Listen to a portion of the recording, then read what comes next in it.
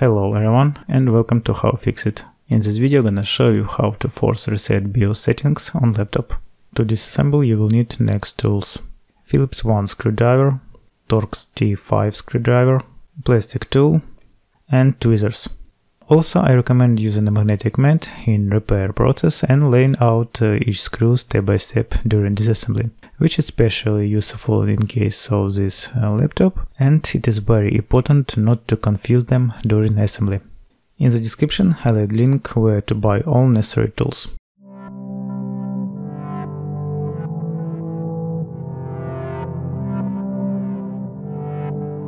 Turn the laptop over and remove all screws on the bottom cover.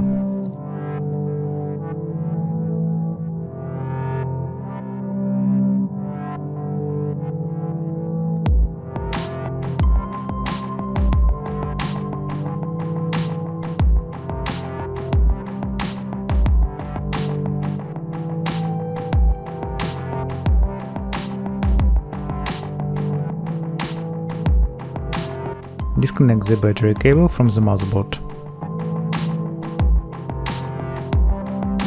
To reset the BIOS settings, you need to disconnect the battery that supports BIOS memory.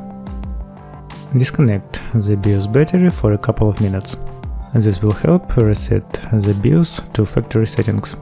Disconnecting the BIOS battery also can help if laptop freezes when turned on during the initialization phase of device but you should not expect that this method will reset the BIOS password.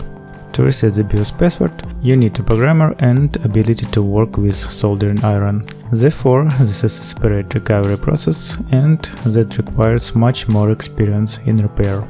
If the laptop cannot save BIOS settings, then you need to replace the battery with a new one.